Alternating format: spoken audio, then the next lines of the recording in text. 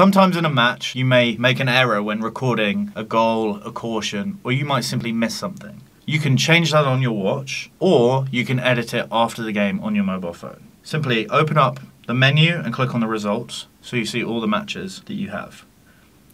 Click on the game where you made that error, and you'll see in the top right hand corner there's an edit option. You can edit a variety of different things about the match whether that's the match details themselves. So maybe you spelt the name of the team wrong, you can change that. Maybe you were down as the assistant referee and actually ended up being the referee, you can change that there. Um, maybe you wanted to edit the team sheets that a player dropped out at the last minute, you can change that in here. Uh, you can add an incident if an incident um, occurred that you weren't able to put on your watch, um, or you can edit an incident, um, something that you've recorded but actually was recorded it incorrectly.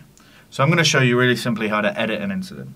Just tap Edit Incident and you'll see all the different incidents that appeared in the game.